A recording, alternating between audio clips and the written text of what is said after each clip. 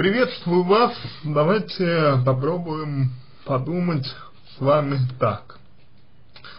Во-первых, э, с какого периода, с какого момента ваш мужчина стал уезжать э, на дачу и перестал хотеть э, ночевать дома? То есть, что конкретно повлияло на такое его решение? Какие-то обстоятельства, ситуации ваши, может быть, разногласия, что-то еще. Момент это очень важный, потому что, скорее всего, это обстоятельство позволит проследить цепочку эмоционального э, переживания вашего мужа, что и привело, привело к поведению подобного рода. Дальше. А, следующий важный момент заключается в том, что ваш муж уехал потому, что либо ему что-то не нравится и неприятно, либо его что-то не устраивает, э, и э, он не получает того, чего хотел бы получить. Того, чего хотел бы получить от, например, вас или от э, всей ситуации в целом. Давайте подумаем, подумаем, а чего не хватает вашему мужу? Что ему нужно, в чем он нуждается? И подумаем о том, можете ли вы это ему дать без а, вреда себе. Ну, условно говоря, э, без ущерба себе. И вот если вопрос у вас э, будет стоять таким образом, то есть если вы озадачитесь тем, чтобы дать мужчине то, что он хочет, то тогда у него будет больше мотивов оставаться с вами потому что на данный момент у него нет оснований и желаний с вами оставаться. Почему? Потому что плюсы пребывания с вами, к сожалению, существенно э, превышают э, плюсы пребывания без вас то есть э, наоборот, э, плюсы проживания без вас существенно превышают э, плюсы пребывания с вами. Мужчина больше получает, когда если он находится без вас, чем с вами.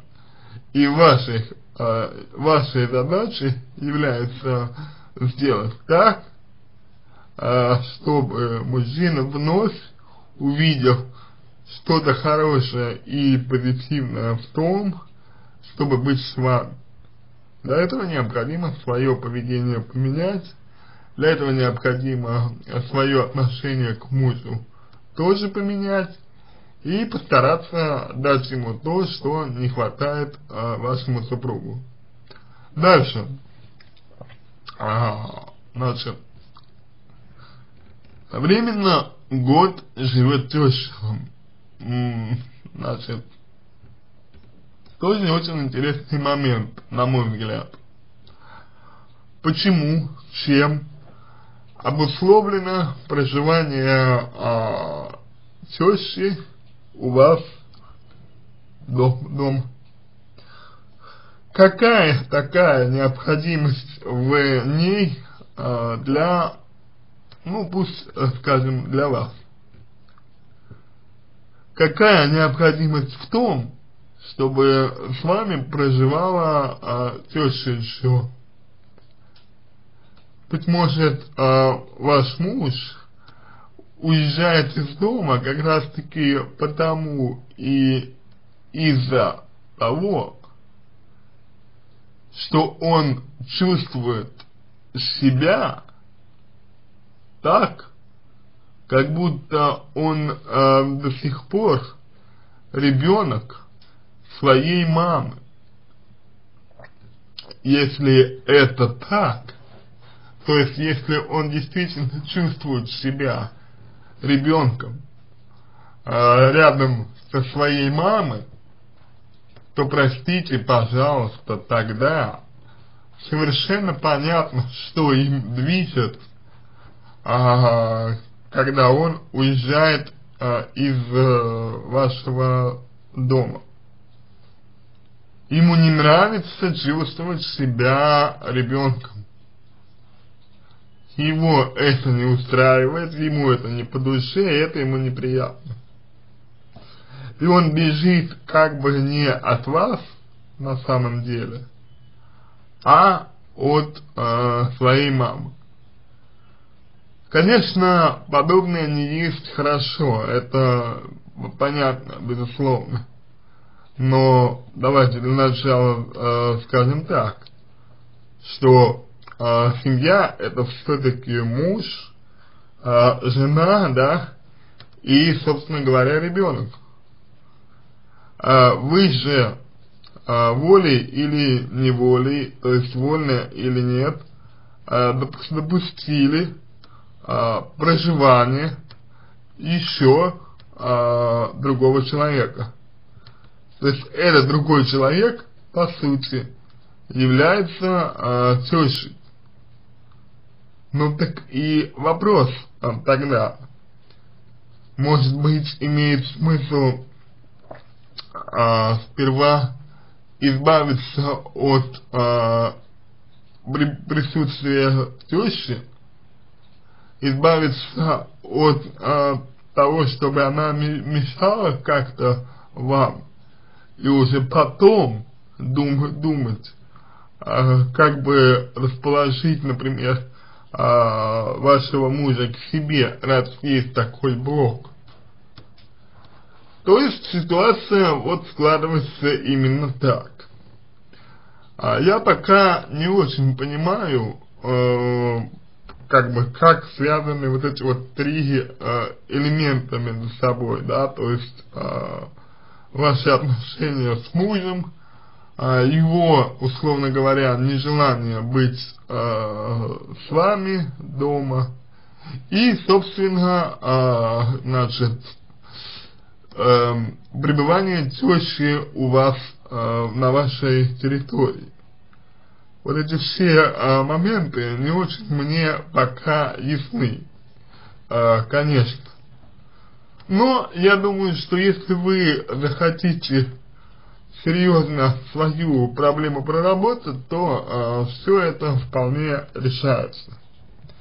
Главное, главное вам э, не психовать Главное вам не допускать некоторых аспектов в своем поведении. Как им, какие именно? Вы пишете, что вы э, сильно психуете и не можете работать. С чем это связано, Надежда? С чем связано то, что вы не можете работать? С чем связано то, что вы э, психуете, как вы говорите? Не говорит ли вас э, таким образом неуверенность в себе? Потому что у мужчины, как я уже сказал, могут быть э, свои мотивы на поведение подобного рода. И если он э, так себя ведет значит, ему так удобно, ему так хочется на данный момент, это а, то, что для него лучше всего, и как бы ситуация заключается в том, что вы принимаете это на свой счет. Возникает вопрос, а почему? Почему вы принимаете это на свой счет? Что заставляет вас это делать? Какие э, сомнения в себе, быть может, неуверенность в себе же э, трактует и диктует вам поведение подобного рода? Ведь, э, понимаете как, чтобы налаживать отношения с человеком, нужно, чтобы вы для начала были сами уверены в себе. И уже потом можно говорить, говорить о том, что у вас будет получаться как-то налаживать с ним связь.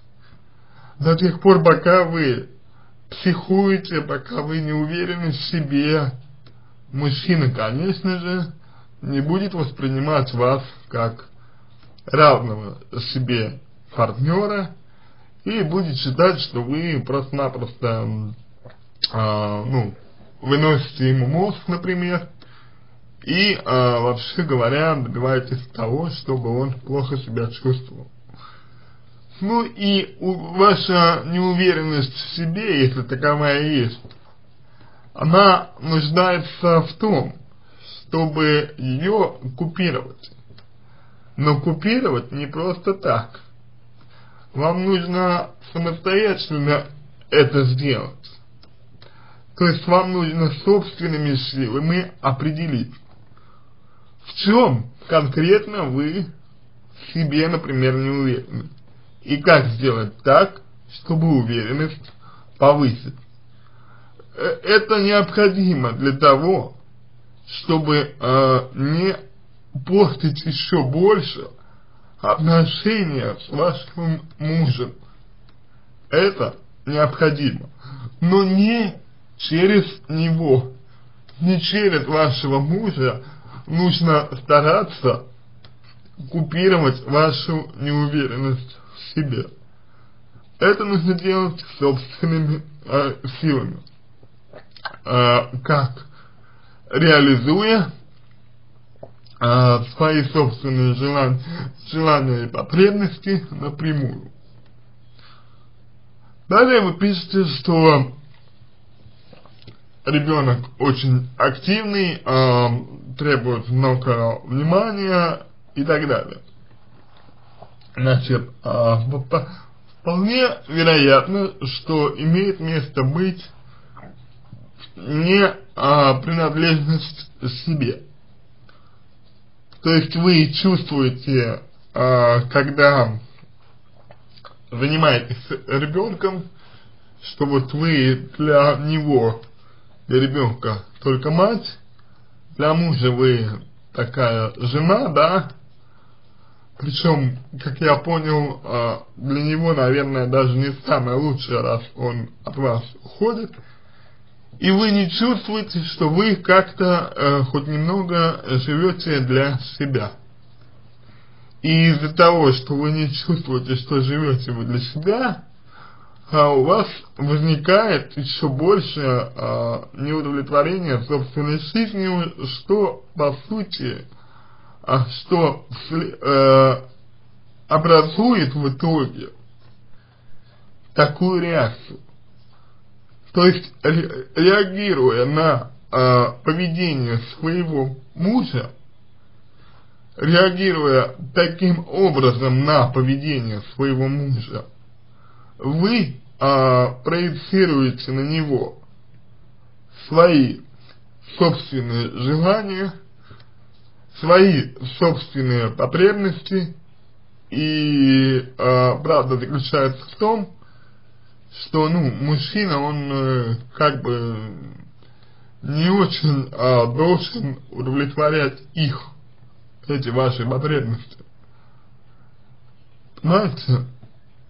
Вам нужно самой озаботиться тем, чтобы у вас появилось личное пространство, а, чтобы вы сами реализовывали себя, чтобы вы не зависели от мужа настолько, чтобы вот, условно говоря, а, психовать из-за него, и чтобы мужчина видел, что вы, вообще-то говоря, не принадлежите ему.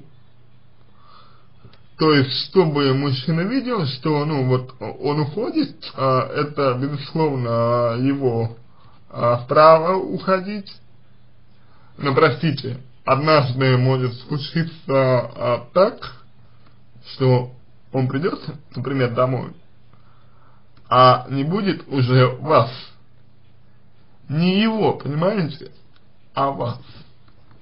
И если вы дадите это четко ему понять, а у вас есть такая возможность именно в силу того, э, что вы, например, будете организовывать э, свое личное пространство, что это возымеет эффект, и вы добьетесь того, что ситуация изменится.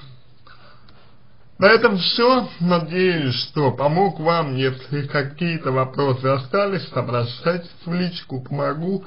Если вам понравился мой ответ, буду благодарен, если сделаете его лучшим. Желаю вам всего доброго и удачи.